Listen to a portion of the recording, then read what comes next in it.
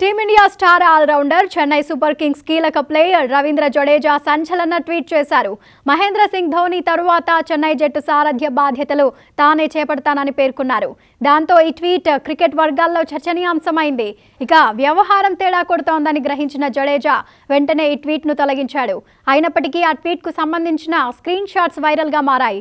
అప్పుడే ధోని పోస్టుకు జడేజా ఎసరు పెట్టాడు కెప్టెన్సీ చేయాలనే తన ఆసక్తిని పరోక్షంగా తెలియజేశాడని అభిమానులు కామెంట్ చేస్తున్నారు.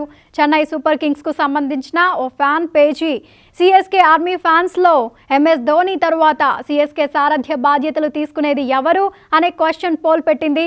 దీనికి జడేజా తనదైన శైలిలో బదులిచ్చాడు. సింపుల్గా ఎనిమిదవ నెంబర్తో బదులిచ్చాడు. అది జడేజా జెర్సీ నెంబర్. పరోక్షంగా తానే సిఎస్కే భవిష్యత్తు కెప్టెన్ అని పేర్కొన్నాడు. కొద్దిసేపటి తరువాతే ఆ ట్వీట్ను తొలగించాడు. అభిమానులు మాత్రం ఈ ట్వీట్ స్క్రీన్ షాట్స్ను వైరల్ చేస్తున్నారు.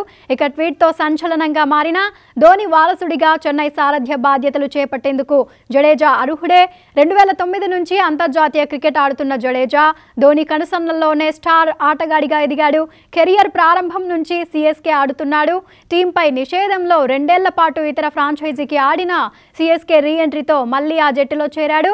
బ్యాటింగ్ బౌలింగ్ ఫీల్డింగ్ మూడింట్లో అదరగొట్టే జడేజా. జట్టు విజయాల్లో కీలక పాత్ర పోషించాడు. ప్రస్తుతం మంచి జోష్లో ఉన్న Jadeja IPL twenty twenty one first హాఫ్లోనూ దుమ్మురేపాడు. డౌన్ ది ఆర్డర్లో బ్యాటింగ్కు వచ్చే జడేజా అద్భుత బ్యాటింగ్తో చిరస్మరణీయ విజయాలందించాడు. నూట అరవై స్ట్రైక్ రేటుతో ఏడు మ్యాచ్ల్లో నూట ముప్పై ఒక్క రన్స్ చేశాడు. ఆరు పాయింట్ ఏడు ఎకనామీతో ఆరు వికెట్లు పడగొట్టాడు. వైస్ కెప్టెన్ సురేష్ రైనా అంతర్జాతీయ క్రికెట్కు దూరం అవడంతో కెప్టెన్గా బాధ్యతలు చేపట్టేందుకు జడేజాకు మార్గం సుగమమైంది.